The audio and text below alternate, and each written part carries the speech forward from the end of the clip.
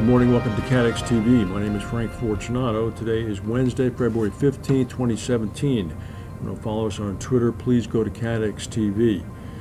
Well, we now know why AIG uh, entered into that big uh, reinsurance contract with National Indemnity Corporation, a Warren Buffett company.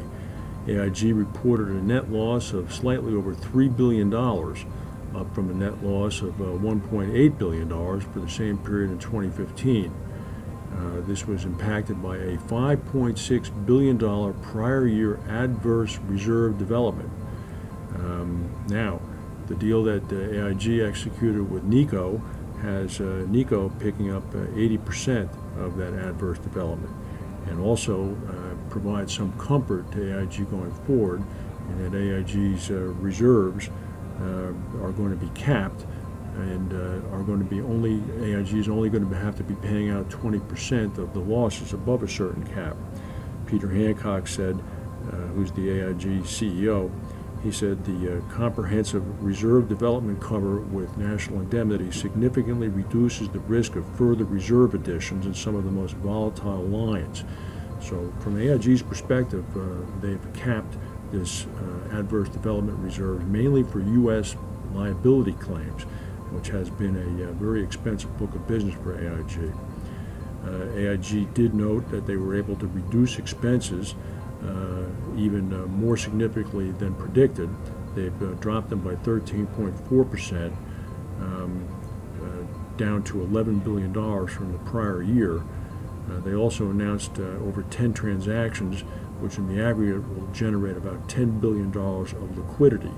Uh, most recently, that uh, was included in 2016 was the United Guaranty Corporation sale to Arch Capital.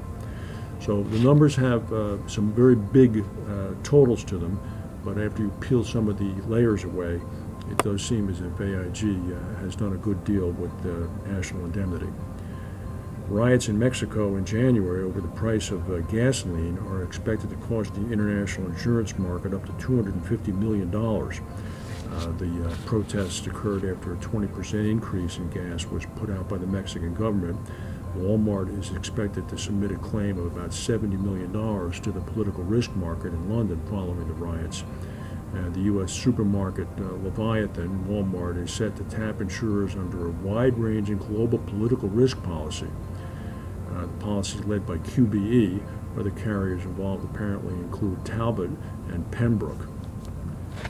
It seems, according to reports, that uh, Stephen Catlin, the uh, founder of uh, Catlin Underwriting and now the deputy executive chairman of XL Catlin, as well as former UK Trade Minister Lord Davies, um, who in uh, uh normal life is uh, also known as Melvin Davies, um, are finalists to be named to succeed John Nelson as chairman of Lloyd's.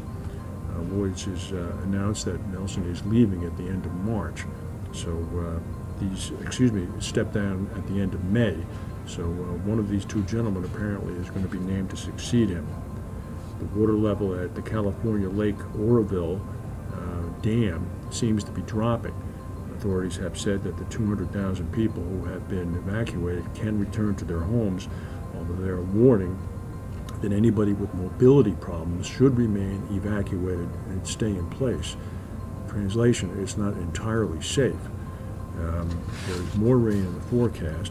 Uh, the uh, water level has dropped about uh, 20 some feet over the past three days, uh, but it's still about uh, 37 feet above where officials want it to be, and there is more rain forecast today and tomorrow. In Texas, severe thunderstorms and snow ripped through the area, bringing uh, snow to places such as Amarillo, it also brought uh, heavy rain and thunderstorms to Houston, causing some 20,000 customers to be without electricity.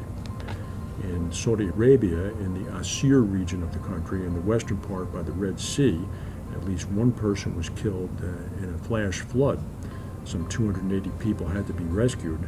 Uh, there were heavy thunderstorms in Riyadh, the capital, in the central part of the country, and more rain is expected today.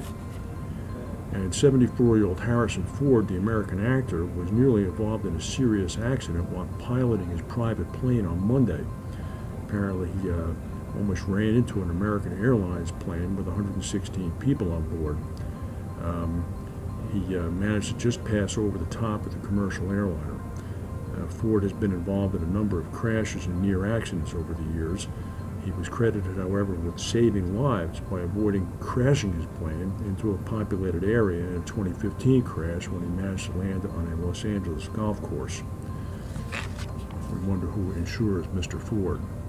That's the news for today. If we have any breaking news, we'll come back and tell you. Thank you for watching, and we'll see you tomorrow.